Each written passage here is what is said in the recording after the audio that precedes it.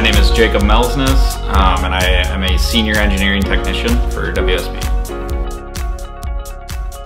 I chose this career because um, when I started working out of high school, I was working for a contractor um, doing the other side of things.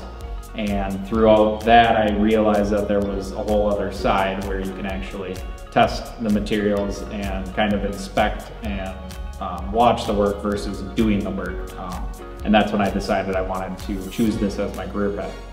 A normal day for me would be showing up to um, a bunch of different sites around the Twin Cities area and doing various types of testing, whether it's concrete, um, soils, or bituminous. And at WSB, we know that our project is only as good as our materials, uh, and so that's why we really strive to be the best in making sure that all of our projects are getting the correct materials and are meeting the specifications.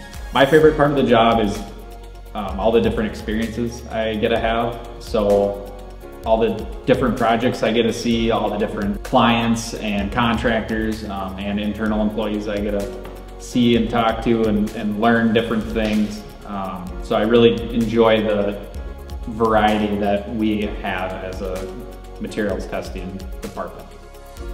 For me personally, um, I take pride and I have a lot of passion in my work and we are doing our job passionately. We're making sure that our clients and contractor, city are receiving a good quality product. All of our certifications, or most of them at least, are just like concrete field one, um, testing cert, and grading and base, and ag production. I would build a career in construction materials testing uh, because it's a great entry level um, position. A lot of places are willing to inexperienced people um, a chance and a possibility, an opportunity to kind of start building their career.